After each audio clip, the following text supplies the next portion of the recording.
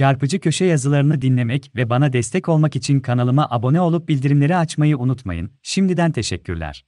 Sanki bir kapı açıldı, herkes konuşmaya başladı. İçinde birikeni, dilinin altında kalanı, eteğindeki taşı döktü. Geçen perşembe, bu köşede, Hakan Atilla'nın açıklamalarını okudunuz. Atilla, Halkbank Genel Müdür Yardımcısı olarak gittiği Amerika Birleşik Devletleri'nde tutuklanmış, iki yıldan fazla bir süre hapiste kalmıştı. Sınır dışı edilen ve havaalanında kahraman gibi karşılanan Atilla, Borsa İstanbul'un başına getirilmişti. Ancak istifa etti, köşesine çekildi. İşte yıllar sonra, sürecin muhasebesini yapıyordu. Kendisi Amerika Birleşik Devletleri'ndeyken, birilerinin Atilla orada diye haber uçurduğuna, tutuklanma hazırlığının böyle başladığına inanıyordu. Dahası, Halkbank yönetimi, tutukluyken onu yalnız bırakmıştı. Üstüne, savunma yapması için ne tanık ne delil desteği vermişti. Atilla, sorumlulardan biri olarak, Sedat Peker'in iddialarının odağındaki, dönemin Halkbank Genel Müdürü Ali Fuat Taşkesenlioğlu'nu görüyordu. FETÖ'nün Bankasya'sından Halkbank'a transfer olan Taşkesenlioğlu için, bankaya katkı sağlayacak tek bir şey yaptığını görmedim, ne sıfatı vardı da genel müdür oldu anlayamadım diyordu. Atilla, Sarraf için uyarmış. Atilla'nın tarihi açıklamalarından sonra, sürecin tanıklarıyla konuştum. Neredeyse tamamı, Atilla'nın anlattıklarından çok daha fazlası olduğunu söylüyordu. Onların ekledikleri, Atilla'nın boşluklarını dolduruyordu. İlki Rıza Sarraf ile ilgili. Hani bir zamanlar, yandaş medyanın, Türk bayrağının önünde kahramanmış gibi konuşturduğu, sonra Amerika Birleşik Devletleri'ne gidip dağıttığı rüşveti anlatan Sarraf'tan söz ediyorum.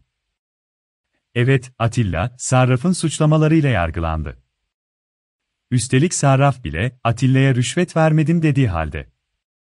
Peki Hakan Atilla ile Ali Fuat Taşkesenlioğlu arasında, henüz testi kırılmadan önce bu konuda bir çatışma olmuş muydu?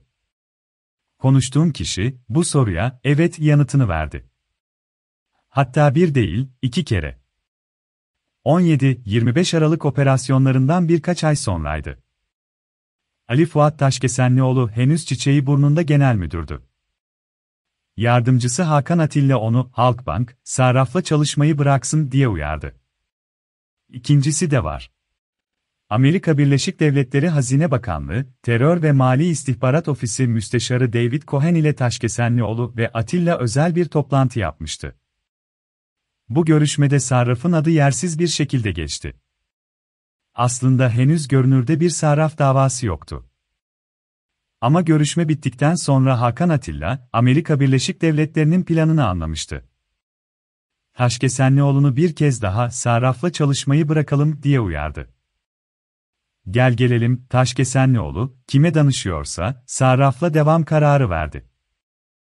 17-25 FETÖ hesaplaşmasının sonrasından söz ediyorum.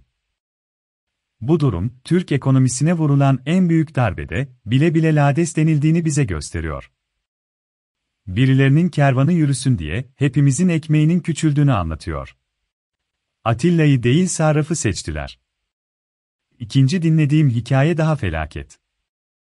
Dedim ya, söylediği 17-25 değil, sonrası. Sarraf, 17-25'ten sonra da Halkbank'ta gemilerini yürüttü.